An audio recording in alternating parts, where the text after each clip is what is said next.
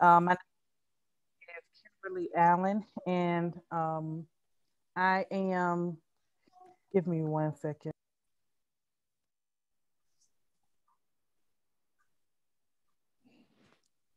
Sorry about that. Uh, so my name is Kim Allen, and I'm the CEO of 904WARD. And uh, we, I've been in this role now for five, almost six months, um, which is hard to believe as the CEO. Oh, sorry, I hit the mute button by accident. I've, I've been a part of the organization though since 2016, um, first as a member and then as the board chair starting in 2018. And so uh, our organization is committed to helping end racism so that everyone thrives. And we do that by helping people to have the difficult dialogue around race, um, helping people to build relationships and then moving together towards collective action. I mean, we we have, I would call it two uh, really key uh, pockets of, of activities that we've been doing to, to help people to have conversations about race. One is what's called the race cards. And it's literally a deck of playing cards that have uh, discussion questions on one side of them and it ranges on topics. So there is a there are personal questions where we are talking about things like uh, when did you first become aware of your racial identity? Uh, we have philosophical questions, things like um, when, what role does fear play in people's understanding of race and racism? Um, and then we have topical questions around things like the Confederate uh, monuments uh, and what should happen to them. Um, and so we have been, we started and launched those cards back in 2018. And we have been hosting conversations since then. And we've had uh, we've sold the decks at this point. At this point, I think we're probably close to having sold almost 4,000 decks of cards across the country. We've launched a, an app for the cards and everything. Um, and uh, it really has been what we call an entry level way for people to discuss race. Um, I saw in the document that Dennis shared um, that there are a lot of people who, you want to come with me? So there there are a lot of uh, the the document that Dennis shared talked about people being on their own journeys, right? And we very much believe in that. Uh, when you enter the space to have a race cards conversation, you are not coming, you know, empty-handed. We all have our experiences and things that you bring to those conversations, and we try to set the scene and set the stage such that folks know that this is the beginning. Um, this is not the only thing that should be happening um, to move towards racial reconciliation. But it is one step of many, and it is an entry point for folks who might have some anxiety uh, with talking about race or who are just, you know, starting to dip their toe in the water, so to speak. Um, and so we, we've held those conversations. Um, the second bucket that we have um, of work that we're doing is called um, the Jacksonville Community Remembrance Project we call it JCRP because it's a mouthful. Um, and that's in partnership with the Equal Justice Initiative over in Montgomery, Alabama, uh, with Mr. Bryan Stevenson. And we uh, memorialize victims of terror lynchings. And so uh, Jacksonville right now has documented seven uh, lynching events. And, and let me preface this by saying, uh, we know that, that this number is probably very underreported, but EJI has a strict criteria that they use to define what is considered terror lynching. And so we, based on that definition, we have seven instances with eight victims. Um, and they were all uh, murdered between 1860 and 1930. Um, and uh, so what we do is we start with a soil collection for each one of those victims uh, where we literally go to the spot where the victim was lynched and collect the dirt and put it in a jar that goes to the museum in Montgomery. And we keep a jar here in Jacksonville, and we are uh, in the process of looking for a permanent home for those uh, jars. Um, but the idea there is, uh, for all we know, the soil that that is there still uh, houses the blood of that victim. Um, and so after we uh, host soil collection ceremonies for each one of the victims, uh, we plan to uh, work with the city to put up historical markers in those areas where the lynchings occurred. Um, and the, the big picture goal is to uh, bring or claim the pillar that uh, is at the National Museum for Peace and Justice in Montgomery. It's literally a really big steel monument with the names etched in them um, and around the time that they were deceased. Um, and we want to bring that here and sort of create a space similar if you've if you've been to the museum in Alabama, similar to the very reflective uh, space that exists there. And so we we really um, we are near the end of hosting all of those soil collection ceremonies. We have two left um, that will take place in December of this year and February of next year. Um, from the last count I saw, there are about 33 other victims that we want to submit to consideration uh, for consideration to EJI. And so they will have to tell us if it meets their criteria. Um, and then we will start the process over again to memorialize those victims. I mean, we've been hosting those virtually. And after those events take place, uh, we have um, hosted what's called what we call caring circles, which is a time for people to come together who've witnessed the soil collection ceremonies, which are very moving and uh, can be very emotional. Um, we have spoken word poetry, there's prayer and meditation, there's singing, and it really is um, a very sacred time um, for us to memorialize those folks. And it feels like we're giving them a proper burial. Um, and it feels like we're recognizing and acknowledging that we don't want this to happen again. But the way we do that is to have the conversation and tell the truth about what happened so that we know, you know, um, how we can all work together and, and move forward. Um, and so those are our two key programs. We have lots of other things coming down the pipeline, especially as next year is Jacksonville's bicentennial. Um, so uh, we're we're really excited. What is your uh, long-term goal, Ms. Uh, um, so honestly, it, and this this is one of the things that we have struggled a little bit with, but ultimately we want racism to be done. We want it to end, right? And someone said to me, "Is that really feasible?" And the answer I always say is, even if it's not feasible, is it not something that we should strive towards? Like we should always be striving to be better human beings for each other and for race not to be the deciding factor in certain outcomes. And so the goal is for racism to go away or at least be um, uh, racism to be so minimized that it does not uh, impact the uh, different outcomes for folks. That's wonderful. Any questions for Ms. Allen?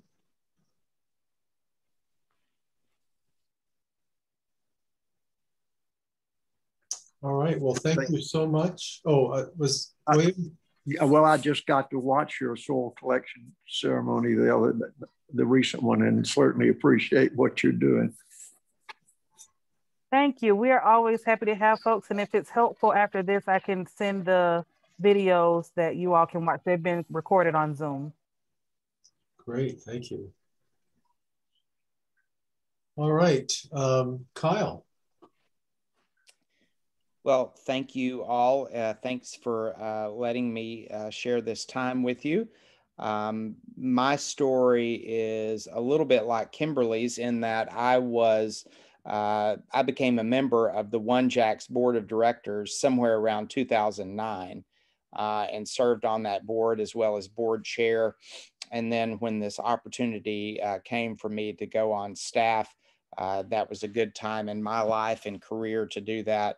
Uh, prior to joining OneJax, I was the senior pastor of Hendricks Avenue Baptist here in Jacksonville for 14 years. So um, I'll just give you a high level overview of uh, the the work, the, some of the work that we do that I think is appropriate to tonight's conversation. Um, we start um, really young, uh, and so we have uh, uh diversity conversations and programs now that are expanding into middle school as well as high school.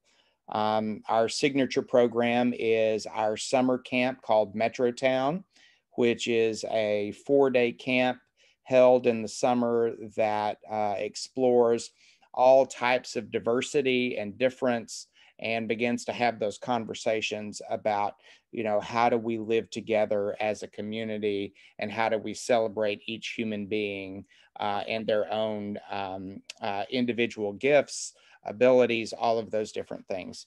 Uh, we are now expanding. We've just hired a middle school coordinator and our middle school work will uh, center not only just on metrotown but we do something called metrotown in a day and that is when um, typically a, a school has experienced uh, an issue. Uh, we were called in uh, last year uh, before the pandemic uh, down to Ponte Vedra. There was a really ugly incident, uh, incidents of anti-Semitism.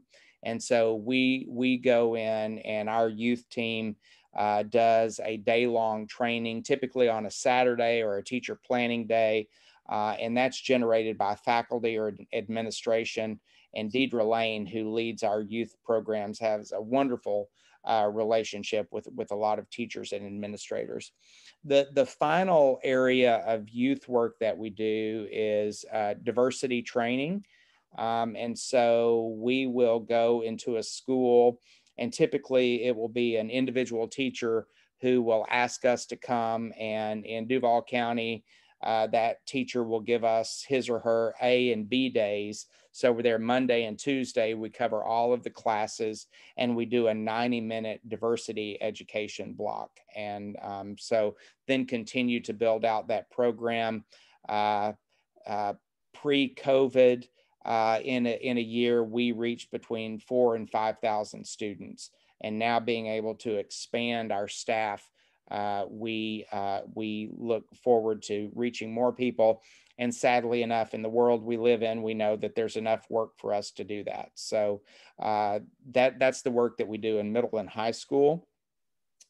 Um, the, the next thing I would mention is Project Breakthrough. Um, in 2008, the Aspen Institute, along with the Community Foundation of Northeast Florida, OneJax, and other organizations, uh, brought uh, Project Breakthrough to community leaders. At that time, it was a 72 hour uh, retreat setting that talked about structural racism. Um, and so, out of that, uh, Project Breakthrough then was um, uh, was we were asked to be stewards of that program, and so uh, we do uh, Project Breakthrough. Uh, it does look at structural racism. Uh, Councilwoman Brenda Priestley Jackson is our project coordinator uh, in that work. Uh, and so, given the racial reckoning that's been happening over the last year, we have had a, a remarkable opportunity to present Project Breakthrough into, into places and into people that might uh, surprise you. We did a uh, two to three hour project breakthrough uh, session with the Jacksonville Civic Council. Um, we are in the process of doing project breakthrough. Uh, Melissa Nelson's goal is that every um, uh, attorney in the state attorney's office will have gone through project breakthrough with us. Again, COVID sort of derailed that a little bit. We got we've got started, and we will circle back on that. Um, also, uh, we have delivered Project Breakthrough uh, to in the UNF College of Education, so that every student teacher that is going out into Jacksonville, many of them going into the urban core, have an understanding of uh, uh the the structural nature uh, of racism. And so Project Breakthrough is, is, a program that we offer. And I just would would point out to you one of the the the outgrowths of that is um, that the state attorney's office uh, took a map of Jacksonville and all of the um, neighborhoods that were redlined post World War II, all of these things. And then you look at crime statistics, it, it's like one map duplicating the other. And so the state attorney's office begins to say, okay, when we are dealing with crime in these areas, there's more to it than just an individual doing something. So that's sort of a, a, a very tangible uh, outgrowth of, of the work that Brenda and her team do. So, so we're able to do that. And the final thing I would mention is um, we have a growing body of work uh, around diversity, equity, inclusion, and belonging.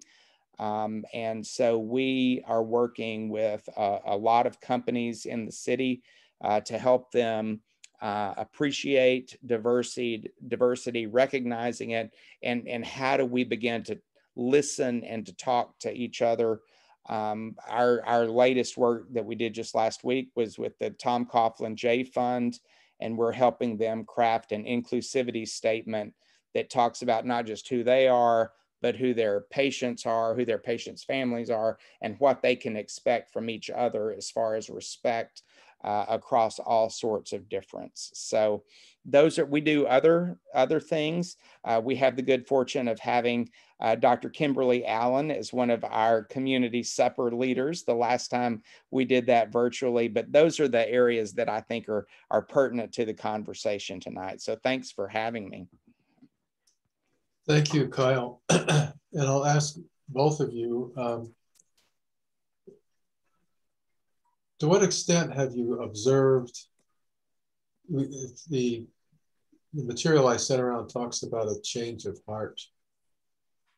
To what extent have you observed that happening and what appears to be the thing that moves it the most? I'll let you answer first, Kyle. well, I so we given the the racial reckoning that happened, um, we did we this is how we we move forward in our organization, and that was I would argue that the first thing that white folks should do is listen a lot. And so we brought our team together. Our African American staff members told their story, and that was our team, our board, and our senior advisory. Um, and that was just such a powerful uh, moment for us that that's what we adopted to do to any organization that asked us to do that. So I'll, I'll just tell you one story with the Jacksonville Civic Council, which is a group of CEOs from all over the city. We invited them to do um, that with their group. And so they invited their African American members to sort of tell their story. Um, and um, one African American member was talking about during the pandemic, he flew into Jacksonville from a meeting late at night and he works at a particular institution that requires name badges. And so he specifically put his name badge on his jacket so that in the event that he was pulled over, the officer would see, you know, with whom he worked and who he was. And what was so powerful about that is um, many people on that call had no idea that people they view as their peers live with that every day. And then you'll appreciate this because you realize who are on that call. Um, one uh, particular person said, "Well, well, that's just unacceptable. We need to decide among this group that we're going to stop that." and you know okay, that, that that that's good that that is a big audacious goal but it was just that powerful hearing someone just authentically tell this is my reality um, and uh, my colleague mickey brown um, does a lot of you know we talk a lot about privilege and i love her def- definition she says privilege is that which you can do in your life that you don't have to think about and when people hear what someone of color or whatever the case may be has to think about in order to live their life that they don't, it's very powerful. Yeah. Thank you. Yeah, you know, I, I could not agree more with Kyle. It's the that storytelling piece is just so profound because it's people who uh, you know they they go to happy hour together right they work next to each other every single day yet uh, there is still some layer of wall that usually exists between people particularly when you're talking about um, across racial lines that people just don't really get into and don't really talk about. And one of the one of the things that has been so profound um, in terms of of some of the change of of heart and things that I've seen, one has been um, I, we had a group. This was a, a, a company, like a, a, an insurance company, who their colleagues had done it, their leadership had done sort of our race card training. They were bringing it to their one of their ERG groups, and uh, someone in the group said, "Well, you know, my parents would say all kinds of things about people from different races," and I knew that was wrong, and I never said that. And so, you know, I, I, in some ways, feel better, right, because I haven't done those things. I haven't said those things and so one of the African American members of the group said, So you might not have said those things, but what are the things that you might have done subconsciously as a result of being exposed to those things that you probably didn't even realize? And in that moment, she kind of paused and she got choked up a little bit because she she said well she said I, I don't want to say aloud you know but she was like but you're absolutely right. There are absolutely things that I've thought and I've done out of automatic, just, uh, you know, not realizing that even though I wasn't saying the words or, you know, out loud that maybe my parents uh, were saying as I was growing up, there are still things that I had in my heart that I didn't realize were there. And so that's a lot of what uh, of what we've seen because the, the cool thing is that people get to I, I say this and, and it's not contrarian, but I, people get to make each other uncomfortable, right? To really push each other each other to think about the deepest corners that may not be uh, exposed, not even to yourself. And so when that happens, you know, people tend to get a little emotional, in particular because nobody wants to be thought of as racist um, that's that is the buzzword that will kill your whole career, your whole social life, um, if you get that label. But thinking about those again, those little nuances and those things and those ways you might have acted, the areas that you might have avoided, the crossing the street because you saw somebody who looked suspicious to you, um, those things, somebody helping to point those things out, um, can really go a long way and but that only happens with that storytelling right kyle? Like when people are feeling safe enough to be vulnerable to share those things.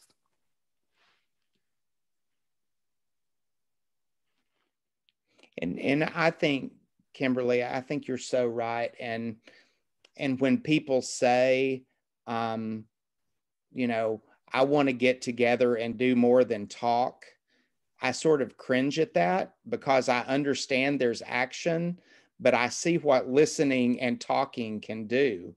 Um, and and so I don't want to sell that short. Plus, I the first 30 years of my career, I was a preacher who got paid to get up and talk to people. So I never want to diminish the fact that talking and listening is important.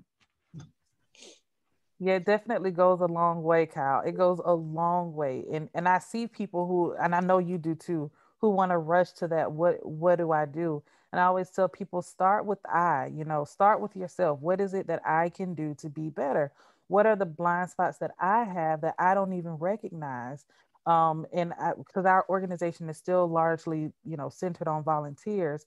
The thing that i've said about anybody who volunteers with our organization is I don't want you to come in here thinking that you're just going to go out and do something in the community and racism is just going to end like it starts with you. So there are things that we have baked into our orientation process that makes our volunteers reflect on themselves and how they can be better and how they can identify their blind spots. Because if we're not careful right, we can go out in the community and do more harm than good just not being aware.